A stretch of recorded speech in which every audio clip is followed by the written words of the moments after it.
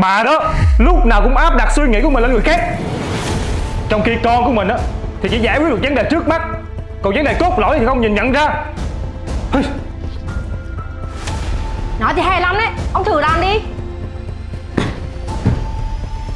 Kỳ cục.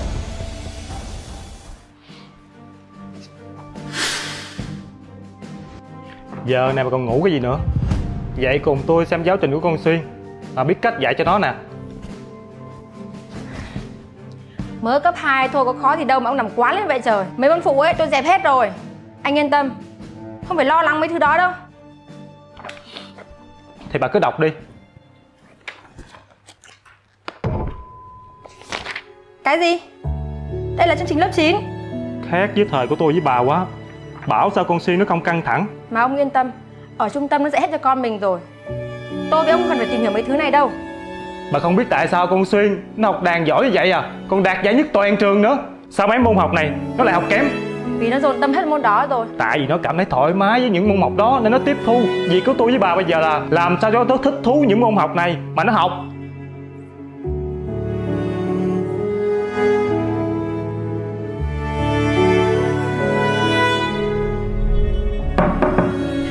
Ba! Ủa phải ba dạy hả? Mày dạy con không được sao? Dạ không phải. Tại mấy bữa nay ba dạy nên Để tập cho mẹ kiểm tra.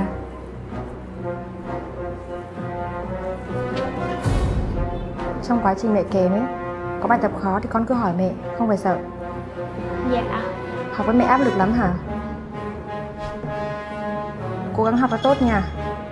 Nếu đợt thi học kỳ 1 này có đạt điểm cao ấy Thì mẹ sẽ cho con học lại đàn Mẹ hứa nha.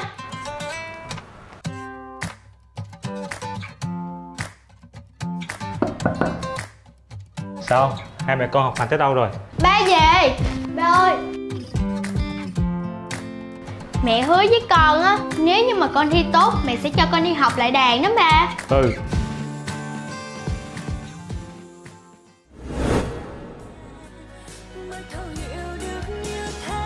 Mẹ ơi Còn vụ thi cấp thành phố của con thì sao?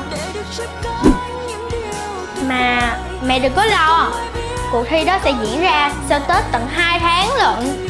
Trước đó con sẽ cố gắng thi thật là tốt Để có kết quả tốt. Rồi mẹ cho con với cô luyện tập để thi đánh đàn nha mẹ.